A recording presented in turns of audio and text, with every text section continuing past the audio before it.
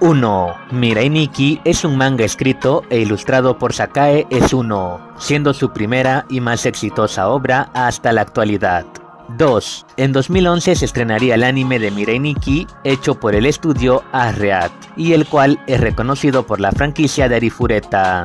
3. Mirai Nikki es el primer anime hecho por Arreat para la década del 2010. 4. Cabe acotar que Mirai Nikki es el último anime que dirigió Naoto Soda en Arreat.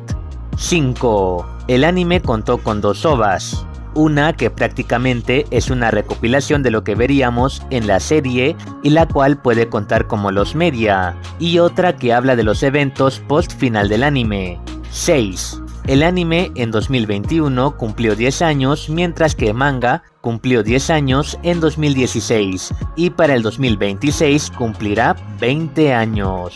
7.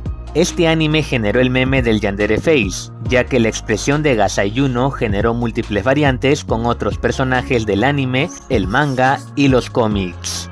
8. Lamentablemente, este anime fue el debut y despedida de muchos seiyus, o simplemente marcó el final de sus carreras, ya que después de Mireniki o tuvieron un rol protagónico y dejaron la industria, o subsisten en la actualidad pero con papeles menores.